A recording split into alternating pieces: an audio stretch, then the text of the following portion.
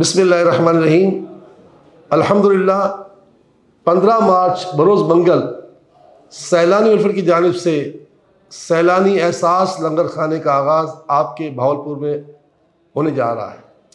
इसकी इब्तदा के लिए सदर पाकिस्तान, भावलपुर आ रहे हैं।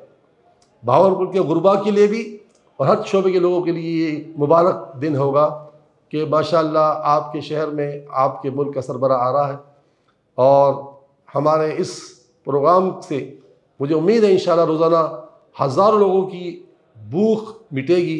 दुआ कि अल्लाह ताला इस प्रोग्राम को कामयाब करे। मैं अहले भावलपुर का मशहूर हूँ कि वो हमें इस मौके से माला माल कर रहे हैं। अल्लाह इन पर, हम पर अपनी खसूस रहमत फरमाए। आमीन या रब्बल